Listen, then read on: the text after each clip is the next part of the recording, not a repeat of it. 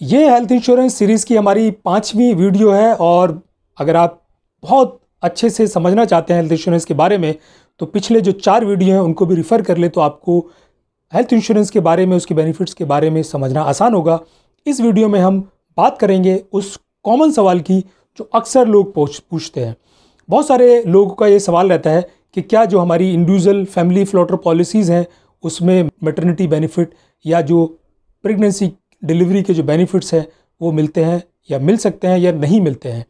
क्योंकि अक्सर जो कॉरपोरेट पॉलिसीज़ होती हैं, कॉरपोरेट पॉलिसी वो होती हैं जो आपके एम्प्लॉयर ने आपके लिए दी होती है ग्रुप पॉलिसी होती है।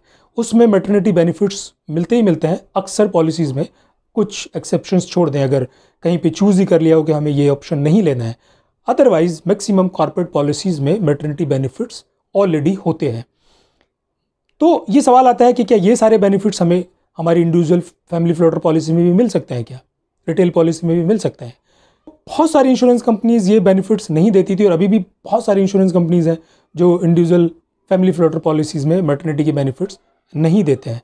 मगर अभी मार्केट में बहुत सारी इंश्योरेंस कंपनीज़ आ गई हैं, एक कंपटीशन भी है और वो अपने कस्टमर्स को बेनिफिट्स भी देना चाहते हैं तो कुछ थोड़ा सा एक्स्ट्रा प्रीमियम पे करके आप मटर्निटी बेनिफिट का फ़ायदा भी उठा सकते हैं अपनी एक पॉलिसी में।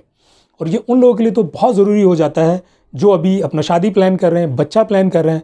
तो अगर आप अगले दो तीन साल में बच्चा प्लान करें तो डेफिनेटली आपके पास ऐसी पॉलिसी होनी चाहिए जिसमें मेटर्निटी कवर मिलता हो मटर्निटी के बेनिफिट्स मिलते हों सो दैट जो डिलीवरी का खर्चा होगा वो आपके ऊपर भार ना पड़े और इंश्योरेंस कंपनी उस खर्चे को उठा ले। उसके लिए आपको कुछ अपनी इंश्योरेंस कंपनी को इंटीमेट करना होगा। या आप बात करें कि आपको ऐसा ही प्लान चाहिए जिसमें मेटर्निटी बेनिफिट के कवर हों। मगर इसमें एक चीज़ ध्यान रखने की है कि अक्सर इंश्योरेंस पॉलिसीज़ यहाँ पे एक वेटिंग पीरियड रखते हैं। ऐसा नहीं है कि अभी आप प्रेग्नेंट हैं और आप अगर पॉलिसी लेंगे तो हो सकता है इसी टर्म पे आपको मिल जाएगा फ़ायदा। ऐसा नहीं होगा। उसके लिए इंश्योरेंस कंपनीज़ ने एक साल, दो साल, तीन साल का वेटिंग पीरियड रखा है। जब आप ये वेटिंग पीरियड क्रॉस कर लेते हैं, तभी आपको मेटर्निटी के बेनिफिट्स मिलते हैं। तो इस पॉइंट को ध्यान रखने की ज़रूरत है, अपने पॉलिसी डॉक्यूमेंट को पढ़ने की ज़रूरत है और अगर वो बेनिफिट्स नहीं है तो मांगने की ज़रूरत है। ये आपके लिए फ़ायदे का सौदा होगा।